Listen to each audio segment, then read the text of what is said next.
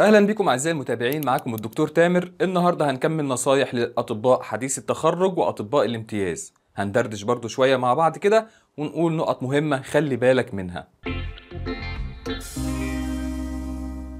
دايما إلبس الواقيات الشخصية بتاعتك زي ال mask وال face shield. الحاجات دي مش غالية لكن ممكن تحميك من حاجات خطيرة جدا.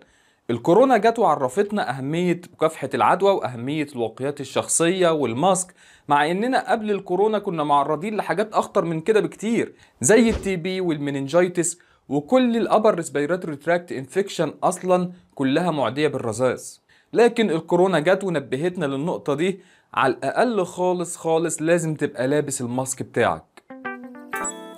Be familiar مع العيان. خليك ودود مع المريض بتاعك. خليه يرتاح لك ويحكي لك كل اللي عنده وما يتحرجش من حاجة خالص لأن ده هيساعدك في علاجه وأنت كل اللي يهمك إنك تعالج المريض بتاعك.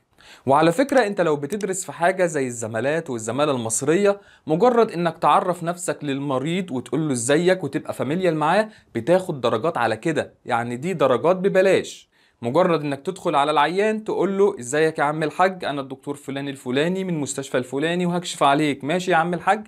يقول لك ماشي. وممكن تهزر معاه كلمة كده ولا حاجة عشان تكسر الحواجز اللي بينكم. كده أنت بتاخد درجات وغير الدرجات أنت بتستفيد إن العيان يحكي لك كل حاجة. التاريخ المرضي أو ال history بيساوي 90% من التشخيص. يعني المفروض انت لو قاعد مع العيان بتتكلم معاه لو خدت منه history كويس فانت بتقوم من على الكرسي عشان تكشف على العيان وانت عرفت 90% من الحالات من قبل ما تحط إيدك على العيان. فال history أو التاريخ المرضي مهم جدا جدا. فركز مع العيان كويس وخد هيستوري كويس. Your safety first. دي قاعدة تحطها حلقة في ودنك. انت امانك الشخصي رقم واحد. ودي قاعدة مهمة لكل الناس في الإسعافات الأولية وكل الناس في الطوارئ عموما سواء دكتور أو حتى مش دكتور. مثلا لو في حادثة وفي مصاب في نص الطريق والعربيات سريعة جدا مش مطلوب منك إنك تدخل وسط العربيات فعربية ممكن تخبطك لا قدر الله ويبقى بدل ما كانوا ضحية واحدة بقوا ضحيتين. أنا بتكلم سواء أنت دكتور أو مش دكتور. عيان واقع في وسط أسلاك ممكن تكون الأسلاك فيها كهرباء تيجي تشده وتتكهرب أنت كمان. عيان واقع في منطقة فيها تعابين. فالقاعدة دي تحطها حلقة في ودنك في كل الظروف. خلي بالك دايما إن your safety first وإنت بتكتب دواء للعيان راعي الحالة المادية بتاعت العيان. يعني لو شايف إن هو غير مقتدر ماديا يبقى اكتب البدائل الأرخص من العلاج. لكن بشرط بعدم الإخلال بالعلاج. يعني مثلا لو عيان فقير وجاي لك ومطلوب له دواء غالي جدا لكنه مهم وحيوي لحالته. يبقى لازم تكتبه لأن العيان ده ما عندوش حاجة أغلى من صحته. ولو هو مثلا فقير وبيصرف على أسرة وهكذا فهو لازم يبقى كويس صحيا عشان يقدر يصرف عليهم. فالعلاج ده مهم ليه ولأسرته. لكن في الأحوال العادية لو في بدائل أرخص وبنفس الكفاءة وتشتغل كويس يبقى نكتبها ونراعي حالة المريض المادية لما نيجي نكتب العلاج. ما تجهدش نفسك في الشغل طول الوقت. ما تخليش الطب رقم واحد والأخير في حياتك. لازم يبقى ليك عدد ساعات نوم كافية. لازم يبقى ليك هواية خارج الطب. لازم يبقى ليك وقت تصفي فيه ذهنك. لأن ده مهم جدا لاتزانك النفسي.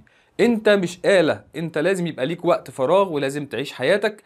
وده بينعكس بعد كده على شغلك تقدر تركز فيه وتقدر تفيد العيان فيه. وفي برضو مقولة مهمة خليك فاكرها اللي هي tired doctors make mistakes انت لو مش نايم كويس وقايم مدروخ وبتكشف على العيان ممكن تنسى حاجات وممكن تضر العيان نفسه.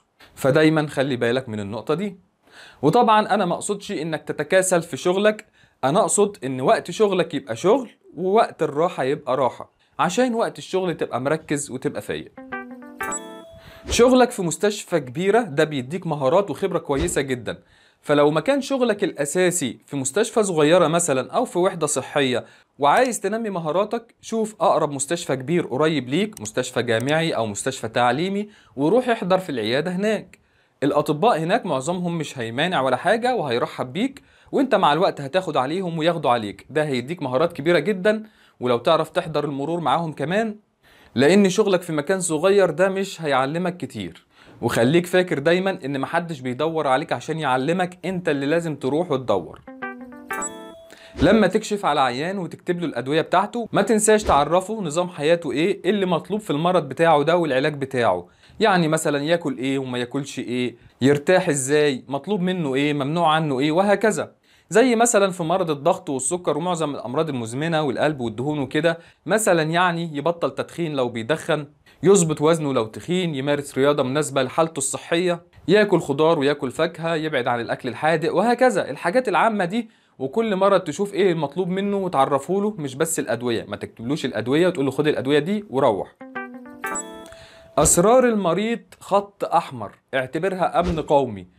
المريض جالك وحكالك على أسراره عشان يتعالج عندك فالأسرار دي ما تطلعش لحد ابدا إلا بموافقة المريض أو لو في أمر من النيابة بقى وقضية وحاجات زي كده. لكن غير كده الأسرار دي ما تطلعش مهما كان اللي بيعمله المريض. لكن أنت تنصح المريض بتاعك إنه يبتعد عن السلوكيات الخطأ وتعرفه إن ده عشان صحته وعشان علاجه. وتداوم في الموضوع ده إنك تنصحه باستمرار.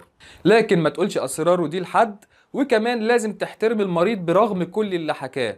لأنك اولا لو ما احترمتوش فهو ممكن ما يرجعلكش تاني وممكن ما يروحش لأي طبيب وبالتالي يضر نفسه وممكن يضر كمان الناس اللي حواليه.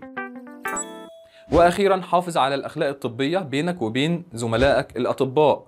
هتكلم عن نقطتين بس مثلا لو طبيب جه يكشف عندك سواء هو أو أي حد من أقاربه من الدرجة الأولى ما تاخدش منه كشف. عيب طبعا ما ينفعش.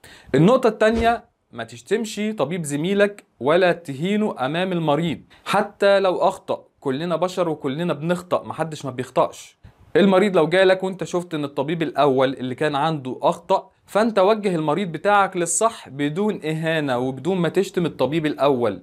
ما ينفعش عيب برضه قول له والله يا عم الحاج أنا وجهة نظري إن العلاج الأولاني ده مش مناسب لحالتك بشكل كبير العلاج اللي هكتبه ده إن شاء الله هيكون أحسن وخد العلاج كذا كذا وامشي عليه كذا كذا بدون ما تهين ولا تشتم في الطبيب الأول. وفي النهاية أحب أشكركم ما تنساش اشترك في القناة بقى واعمل like و share وشكرا لحضراتكم.